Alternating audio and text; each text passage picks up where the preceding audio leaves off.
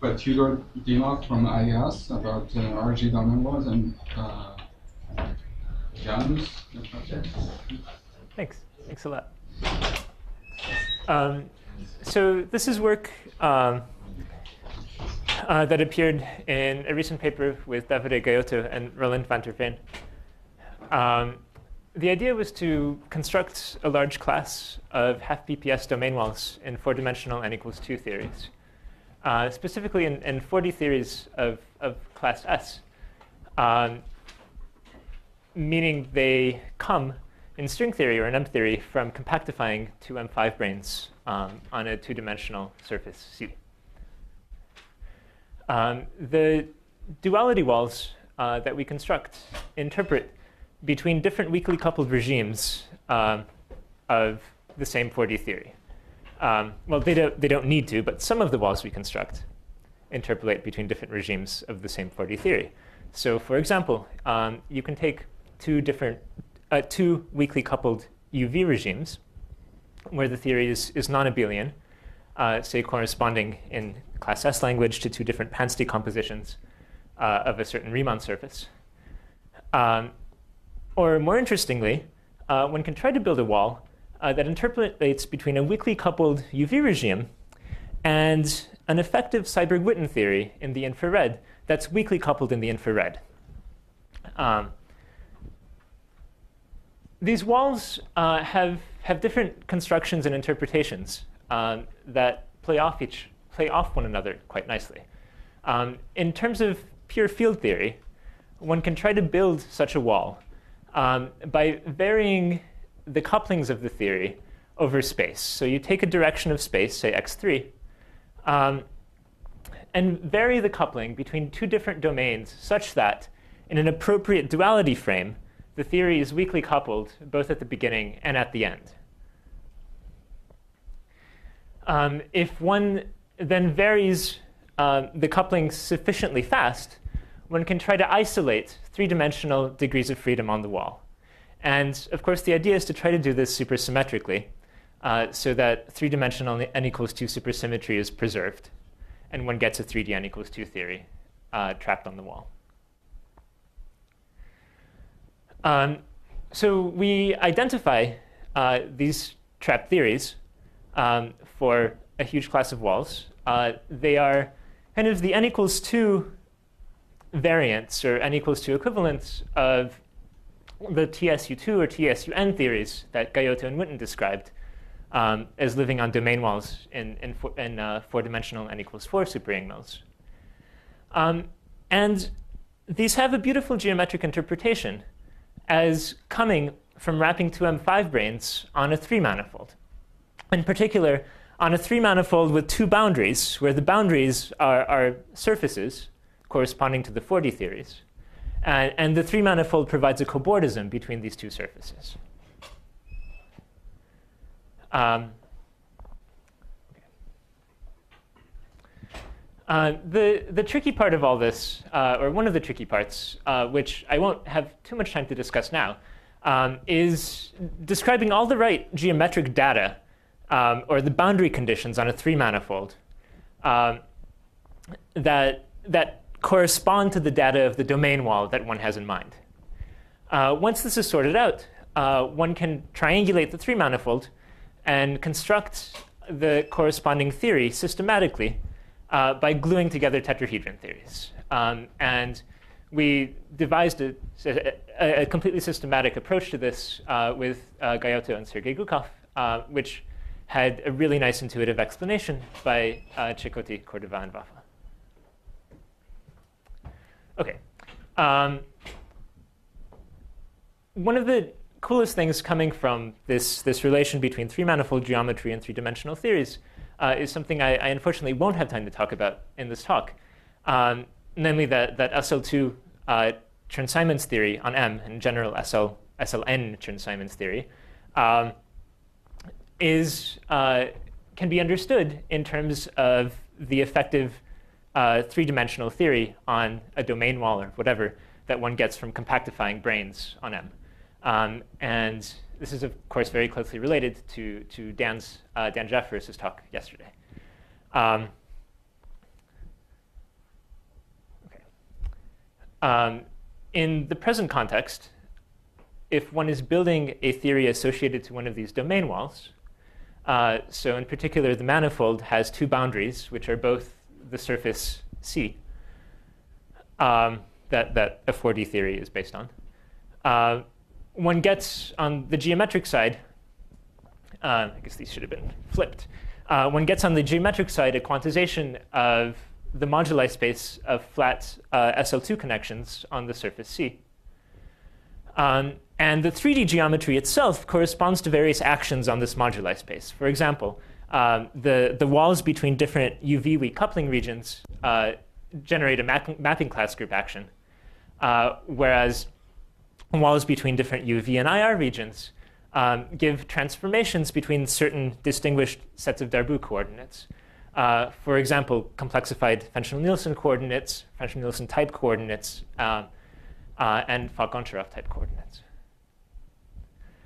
Um, okay, but the plan today um, is going to be a lot of physics and a little bit of geometry. Um, so I want to first just give examples of how some of these duality wall theories look, um, because I assume they're unfamiliar uh, to, to most of the audience. Um, so I'll give examples of how they look, and I'll just I'll say what three manifolds they correspond to um, roughly. Um, and I'll explain more about the 3D geometry at the end of the talk. Um, after the examples, uh, I'll, uh, I do want to say a little bit physically about why this, what I call the RG wall, makes sense. So our, the RG wall being the thing that interpolates between a UV weak coupling region and uh, an infrared Seiberg-Witten theory in its, in its weak coupling frame. Um, why it makes sense and, and how, to, how to think about it in a few different ways. Uh, and then, as I said at the end, I wanted to discuss the three manifolds and what they mean uh, in terms of 6D compactifications. Okay, so the theories turn out to be ridiculously easy. So the simplest example is a pure SU2 um, theory in the four-dimensional bulk. Um, it comes from putting five branes on an annulus um, you can also think of an annulus as a sphere with two punctures with irregular singularities at those punctures for, uh, well, irregular means something specific in, in terms of the compactification. Um, the RG wall theory, the UVIR theory for pure SU2 um, super Yang-Mills just consists of two chirals. Um, it has a global symmetry, which is U2, if you think of the theory by itself. But if you want to think about coupling the theory as a meaningful domain wall, uh, that U2 is split into an SU2 times U1, where SU2 gets, should be identified, um, um, SU2 should be identified as um, the gauge group in the bulk on the non-abelian UV side of the wall, and U1 can be identified with the gauge group in the Seiberg-Witten theory on the other side of the wall. Um, of course, this, so this is a doublet of chirals under SU2, and in my convention it has charge minus 1 under the U1. Um, the three manifold looks like this. Uh, it's a cobordism between an annulus and an annulus with some extra data that I will explain later. So topologically, it's absolutely trivial. It's just C cross an interval. Uh, but but you, have to, you have to give a little more than the topology in order to make the compactifications and the field theories make sense. OK. Um, yep, and that's, that's how the wall looks. So again, you gauge, you, so you look at the flavor symmetry of, of this theory on the wall and gauge part of it in the UV bulk, gauge, gauge part of it in the IR bulk. Um, it also, so of course, the, the infrared Seiberg-Witten theory um, is, not, is not just a UN gauge theory.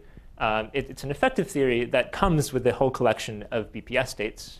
Um, and ideally, whatever domain wall theory we have would be able to couple to all of the BPS states in the infrared, and it does, it can. Um, so this, this ridiculously simple theory of two free chirals in three dimensions um, happens to have a bunch of hidden operators. And they're hidden because they exist in monopole sectors. Um, so meaning that if you turn on um, a background monopole flux for, uh, for, for the gauge fields corresponding to these, these um, flavor symmetries, um, then you start having operators. Um, and they couple to uh, magnetic and dyonic and other BPS states in, in the bulk. Uh, and by, by couple to, I mean that an, an, a 't line with, say, magnetic charge um, in the bulk can end on the domain wall. And of course, where it ends, it's going to create a monopole configuration in three dimensions. Uh, this is not at all obvious that these operators exist. Okay, um, so just to give a few more examples, uh, the story basically continues in a similarly simple way. Um, there are different axes. Um, so um, um, you, I would expect.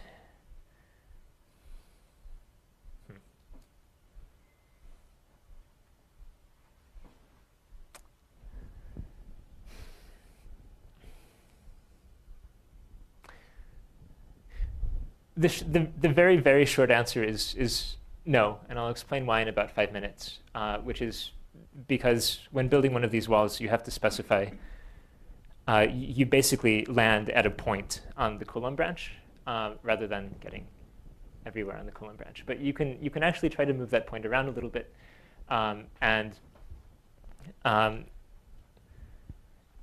get something, probably something like mirror, uh, mirror 3D theories or something like that that, cor that correspond to different, um, different chambers.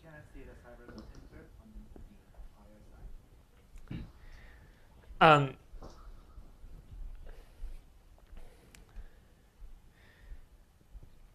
so um, you you can. So all of that information. I mean, all, all of that information is is part of the entire 3D 4D configuration. So what, in particular, so you you see. Um, this, this three manifold that, that you're playing with has an end that um, asymptotically looks like C cross R plus. And a double cover of that is, of course, the Seiberg-Witten curve. Um, so so you, you see the Seiberg-Witten curve as, as, part of, as part of the full system. And you see all of the BPS states that, say, correspond to minimal cycles on the Seiberg-Witten curve um, as, as things that can couple to operators in, in the 3D theory. introducing bulk that reduces to um, differential. Yeah, yeah, yeah, yeah. There is. So and and so, um, I, I mean, you're you're you're playing with. Yeah, I, I should I should go on, uh, but yes. So and and so so uh, Cecotti Cordova and Vafa actually explained this explained this very nicely. Uh, they they looked at walls in particular between different Seiberg-Witten regimes. Um, and so, so you have you have M2 branes wrapping cycles in the bulk that um, then translate to to BPS states on in kind of in the asymptotic ends. Um, and so and yeah, you you you you can you can see everything. Uh, the the differential comes from um, from from reducing um, reducing a field in it's, it's, a, it's some harmonic form in, in the three manifold that reduces to a holomorphic form in, in the asymptotic um, in the asymptotic end. Um, and I, I wish I had time to go into all of these details, and I do not. Um, so I just want to illustrate that the theories, that, so these domain wall theories are similarly simple for other four-dimensional uh, bulks. So if you take n equals 2 star, so, so it's SU2 plus an adjoint hyper, um, now you need three chirals on the boundary to make things happen nicely. And you need three chirals because you want operators that, that couple both to an electric hypermultiplet on the IR side and uh, the adjoint hypermultiplet on, on the UV side. And you, need, you just need to be able to create, um, create the couplings.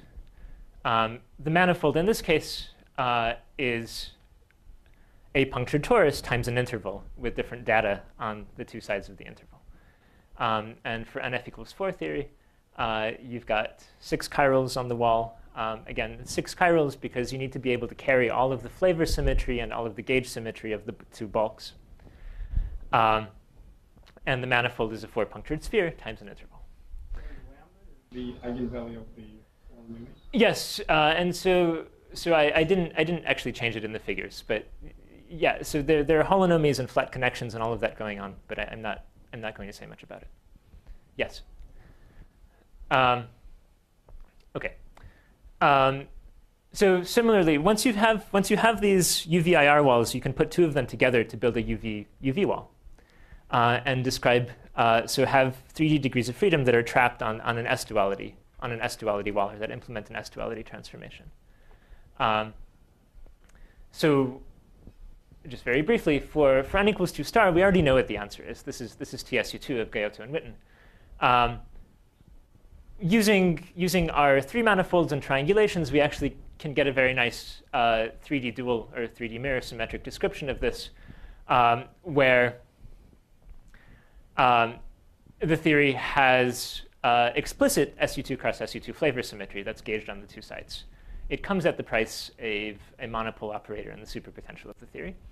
Um, the three manifold now is built by taking two of these punctured torus cross interval manifolds and gluing them together uh, to get something that looks like, well, it's, it's almost the complement of the Hopf link in the three sphere, uh, but it's the Hopf link with an extra little bridge.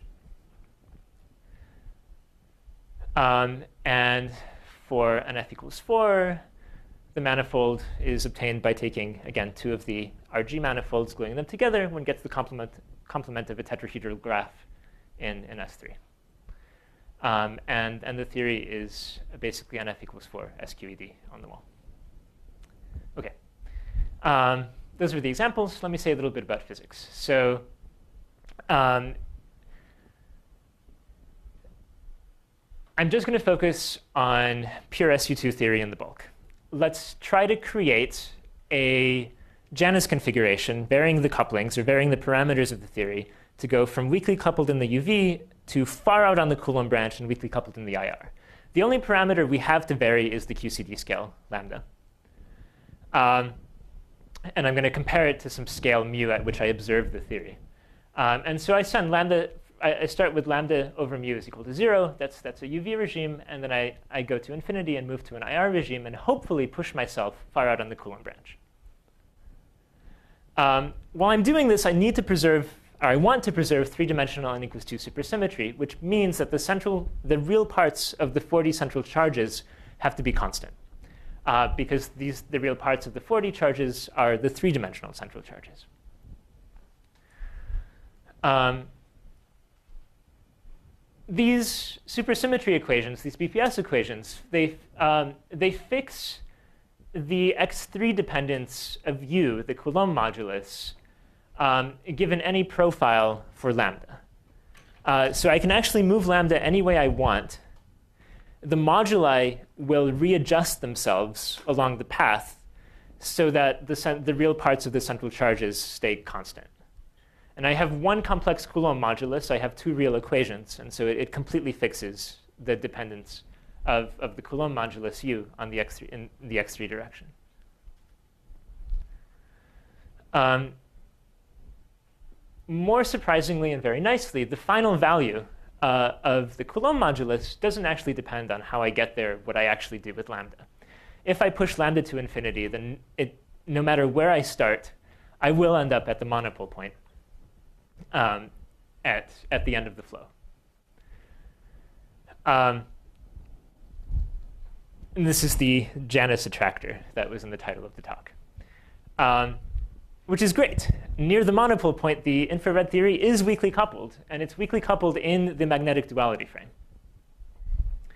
What determines which point we go to? Um, so the 3D supersymmetry, the, the embedding of the 3D superalgebra in the um, in the 4D superalgebra, uh, that in particular depends on a certain phase, um, and I can end up anywhere on the circle of marginal stability.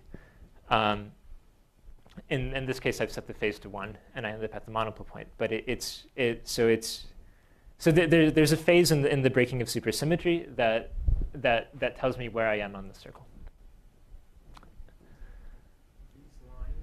They are they are flows. these flows, They are flows of you.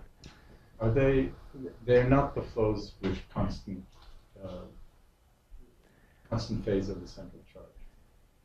Um, they they are not. Um, and that's and that's so so the because the imaginary parts are are changing quite a lot. Yeah, but that's you know. It's it's it's it's a slightly different it's a slightly different condition. It it's, it it reminds me very very much of of the other attractor mechanism. Um, okay. Um, so there's also a cute little thought exercise that one can go through to figure out what degrees of freedom get trapped on the wall.